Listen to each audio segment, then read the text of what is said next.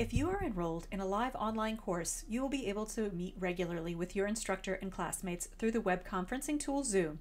This tool will allow you to see your instructors, ask questions through video or chat features, along with participate with your classmates on various activities. Your Zoom meetings will be accessed through your e-learning course. Live online courses using Zoom will have a Zoom menu tab on the left-hand side menu. To access your live session, click Zoom Meetings. This will show you all of the meeting sessions scheduled for your class. Select the correct meeting by clicking Join. If this is the first time you are using Zoom, you may be prompted to download the software, but you also have the option of joining through the website.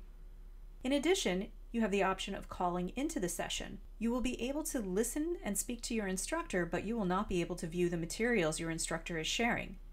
We highly encourage students to use video and audio to get the full live online experience. As you join the session, Zoom will ask you to test your audio and picture quality, and then you will be able to actively participate in the class. If you have any questions about using Zoom in your live online courses, please email elearning at rcsj.edu.